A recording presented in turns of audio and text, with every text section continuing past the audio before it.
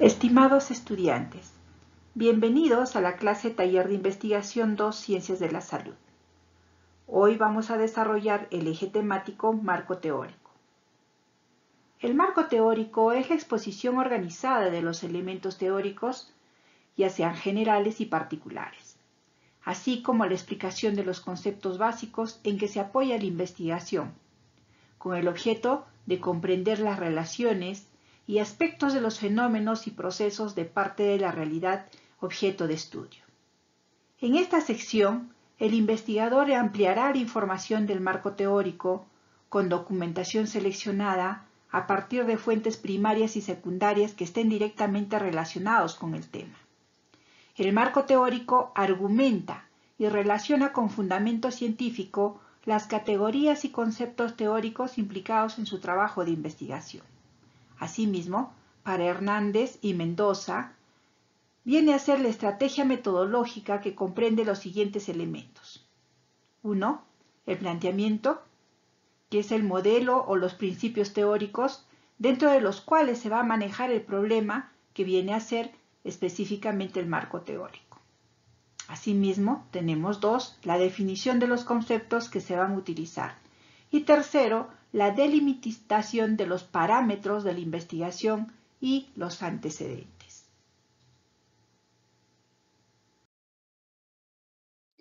El marco teórico es una fase de la investigación que consiste en revisar la literatura científica acorde a nuestro tema para elaborar o adoptar una teoría o una perspectiva teórica sobre él, conocer su nivel de desarrollo actual y las investigaciones realizadas en ese campo a fin de orientar y fundamentar nuestra investigación. El marco teórico se fundamenta con tres aspectos muy importantes. Uno, que vienen a ser los antecedentes de investigaciones anteriores. Eh, dos, las bases teóricas. Y tres, las definiciones. Como ya nos podemos eh, dar cuenta que la revisión de la literatura es muy importante tanto para el planteamiento del problema como para poder eh, redactar los objetivos, para poder justificar, para poder elaborar el marco teórico. Entonces, ¿en qué consiste la revisión de la literatura? Es el acercamiento al tema de investigación, ¿no? Eh, cuando digo tema de investigación me estoy refiriendo a las variables de estudio. Si mi variable de estudio es, eh, eh, desnutrición o puede ser crecimiento y desarrollo, podría ser, por ejemplo, problemas de la columna, ¿no? Con posturas, ¿no? y hay muchos, muchos temas de punto de partida que vienen a ser mis variables de estudio esa variable de estudio pues merecen ser revisadas, ya sean en libros, eh, ya sean en artículos científicos publicados, en tesis, ¿no? en repositorios de diferentes universidades, ¿no? Eh, por medios eh, de Internet, por ejemplo, utilizando el Google Academic, podemos considerar este, artículos publicados en Scopus, en cielo, ¿no? Eh, donde vamos a encontrar información relevante, el cual me va a permitir poder redactar eh, los antecedentes de la investigación, por ejemplo, en este caso. Para poder redactar eh, mi base teórica, pues voy a necesitar teorías científicas que tienen relación con el tema que estoy investigando. En otras palabras, voy a buscar estas teorías en libros, ¿no? Entonces es información de primera mano. Y también para poder redactar los conceptos o definir los conceptos, pues también puedo utilizar, por ejemplo, este, el diccionario, ¿no? De la RAE, la Real Academia. ¿bien?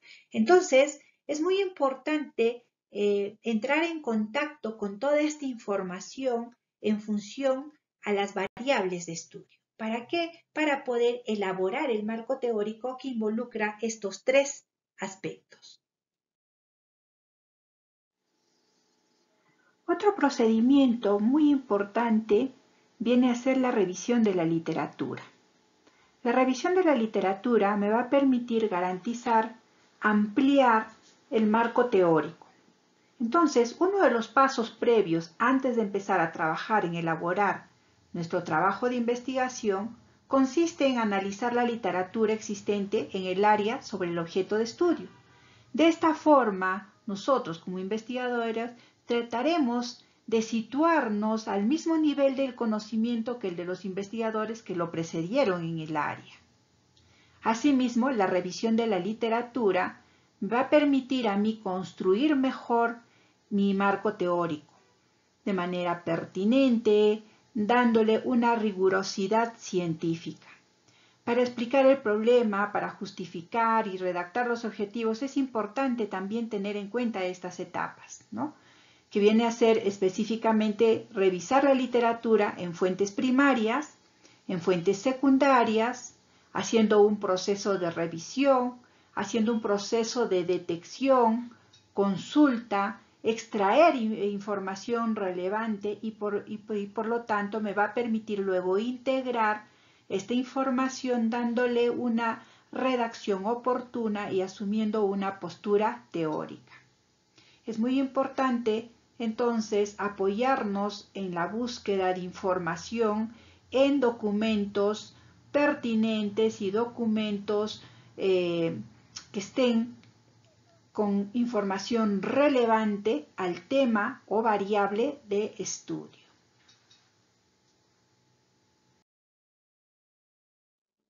¿Cuál es la importancia del marco teórico?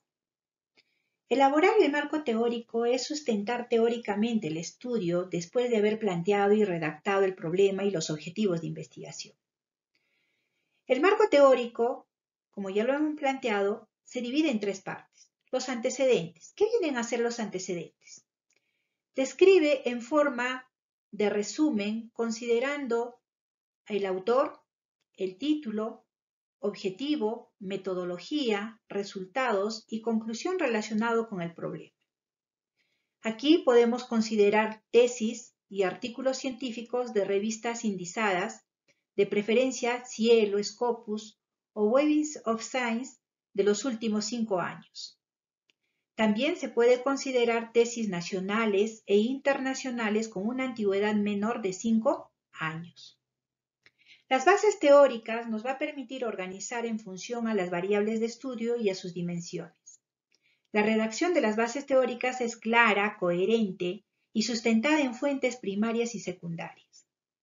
La definición de términos se redacta eh, conceptos que derivan de las bases teóricas y tienen relación estrecha con las variables y sus dimensiones.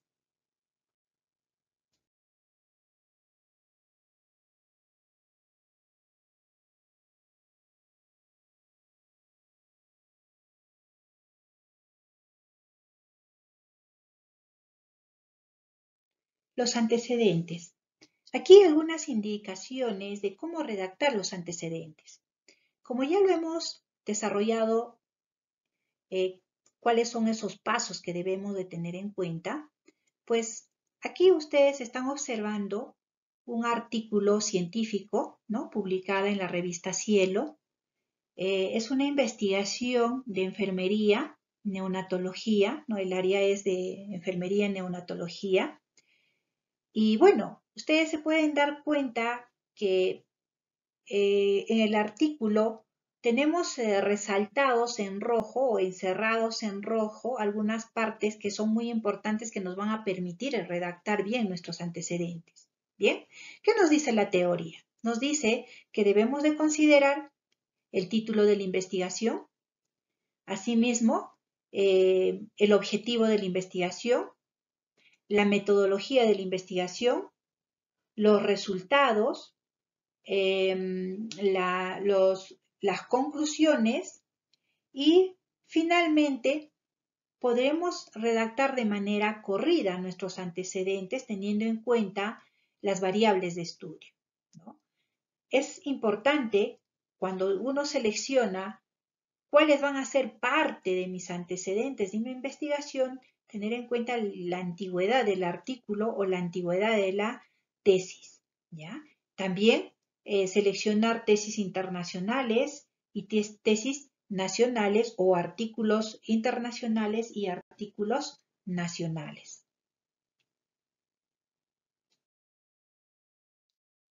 Las bases teóricas son el análisis sistemático y sintético de las principales teorías que explican el tema que estás investigando. Las teorías nos sirven para entender la realidad y para explicarla. Existen teorías cotidianas y teorías especializadas. ¿Cómo debemos organizar este aspecto de las bases teóricas?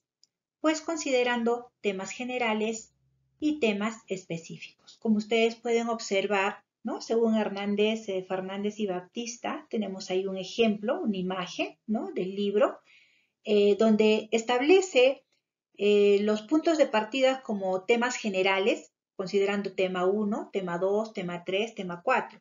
Cuando digo tema 1, tema 2, por ejemplo, puedo estar estableciendo mis variables de estudio. Por ejemplo, yo podría establecer, uno de mis variables es la desnutrición, la otra variable puede ser crecimiento y desarrollo, ¿ya?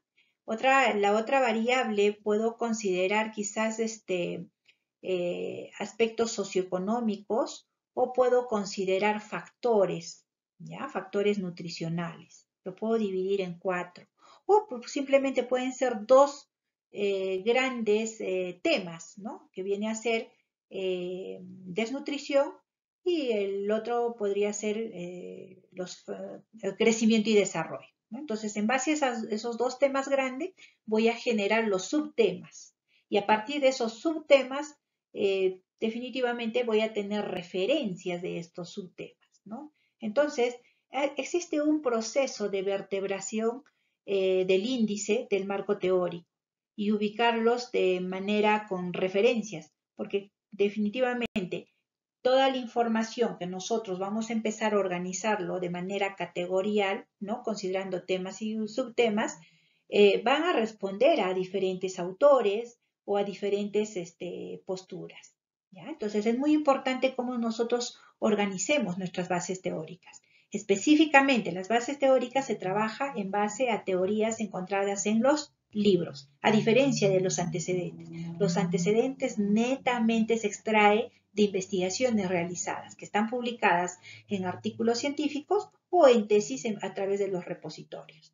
¿sí? En cambio, las bases teóricas viene a ser la teoría que encontramos nosotros en los libros. Estilo de redacción.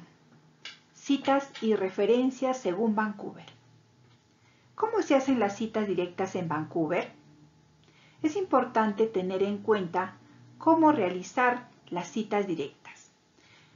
Podemos observar en el ejemplo, en el primer ejemplo, haciendo énfasis al autor.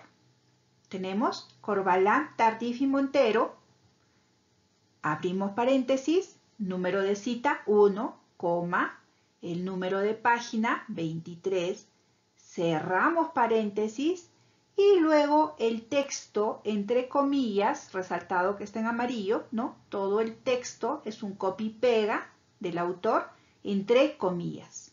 ¿Qué quiere decir? Que esta es una cita directa. Hemos hecho un copy-pega. Textualmente, todo el párrafo nos hemos copiado y lo hemos puesto entre comillas. Esta es una cita directa haciendo énfasis en el autor. ¿Por qué? Porque estamos haciendo primero mención al autor considerando el número de cita y el número de página.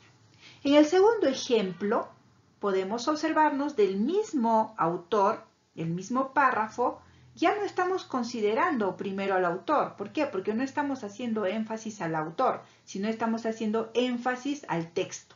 ¿Por qué? Porque directamente el texto es considerado entre comillas, todo lo resaltado en amarillo, no es un copy-pega, entonces esto es una cita directa, entre comillas, si este, está el texto, al final de la comillas abro paréntesis, pongo el número de cita, 1, coma, número de página 23 y cierro paréntesis. Cualquiera de estas dos formas de realizar una cita directa es correcta. Uno haciendo énfasis al autor y la segunda haciendo énfasis al texto. Muy bien, esta es la forma de cómo realizar una cita directa. según Vancouver. Asimismo, Vancouver establece, según el orden que nosotros vamos haciendo en el orden de las citas, también vamos a hacer las referencias. En la misma diapositiva ustedes pueden observar al final, resaltado en color celeste, está la referencia de la cita. Entonces, como tenemos la primera cita, viene a ser el 1, nuestra primera referencia, Corbalán, en este caso, eh, al realizar las referencias, es considerar el apellido paterno seguido de la inicial eh, del nombre, ¿no? Y en este caso, como son tres autores, es Corbalán o, coma, Tardif, J, coma, Montero, P, ¿no? Entonces, apellido paterno, inicial del nombre. Muy bien.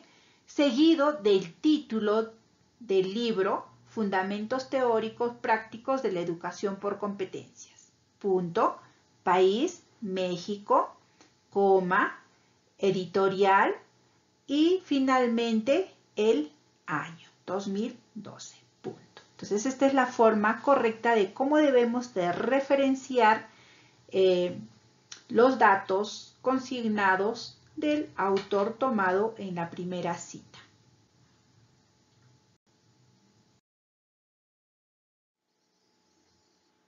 Muy bien, ahora vamos a realizar las citas directas en Vancouver.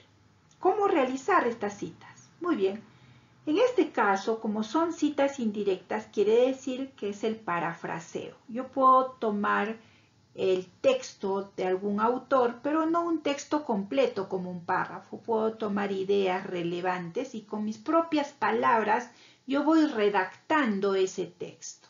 Y no es necesario considerar entre comillas. Bien, como ustedes pueden observar, ustedes ven aquí todo un texto, los aprendizajes enfocados en el desarrollo de competencias deben de partir de identificar cuáles son las competencias en el mundo actual, estas no pueden ser establecidas solo por las universidades, sino de ello debe hacerse en coordinación con el mundo laboral y profesional.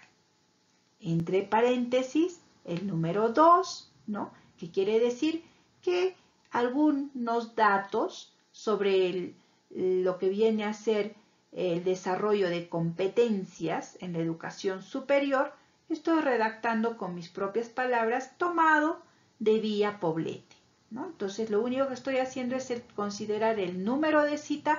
¿Por qué? Porque con mis propias palabras algunas ideas de vía poblete he redactado en este párrafo. Entonces es una cita indirecta. ¿Por qué? Porque he realizado un parafraseo. ¿sí? Asimismo, el, hecho de redactar en mi, mi cita indirecta me lleva a tener que también redactar la referencia correspondiente de esta segunda cita. Entonces, voy a considerar en mi referencia el número 2, que viene a ser Villa, el apellido paterno, luego la inicial de su nombre A, coma, el siguiente autor Poblete, su apellido paterno, seguido por la inicial de su nombre M, punto, el título del libro, Aprendizaje basado en competencias, una propuesta para la evaluación de las competencias genéricas, ¿no? Seguido del país, el lugar y el año. Entonces, es la forma como debemos de realizar las citas indirectas y asimismo la referencia según el estilo Vancouver. Bien, estudiantes, esto es solamente a modo de recordar el cómo ustedes tienen que ya utilizar eh, la redacción eh, con, utilizando el estilo Vancouver. Ya estamos ya en el desarrollo del capítulo 2 de lo que viene a ser marco teórico, ¿no? Entonces, nuestros antecedentes, nuestras eh, bases teóricas, la definición de términos, tenemos que citar la fuente de donde estamos tomando la teoría o dónde estamos sacando la información relevante. ¿sí? Entonces es importante tener en cuenta este aspecto.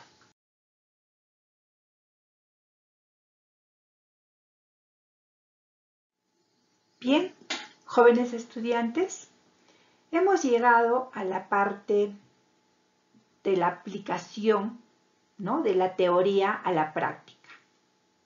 Ustedes que desarrollan de manera autónoma la parte teórica, revisando la información que está publicada en el aula virtual, lo que vamos a hacer es aplicar todo lo que hemos aprendido de lo que viene a ser marco teórico. ¿sí? Estamos considerando, según el esquema de investigación, el capítulo 2, marco teórico, antecedentes, bases teóricas y definición de términos, que debemos empezarle darle cuerpo, consistencia y al, rigor científico de un informe de investigación. Entonces nos toca ahora redactar el capítulo 2, marco teórico del trabajo de investigación que están realizando en compañía de sus compañeros que están desarrollando conjuntamente con ustedes. Ahora, si están trabajando de manera individual, pues tienen que realizar individualmente el desarrollo de este capítulo 2.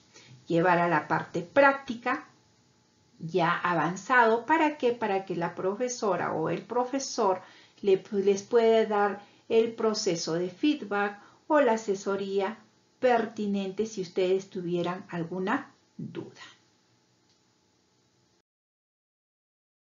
Bien, como conclusiones voy a hacer un resumen del tema desarrollado sobre el marco teórico.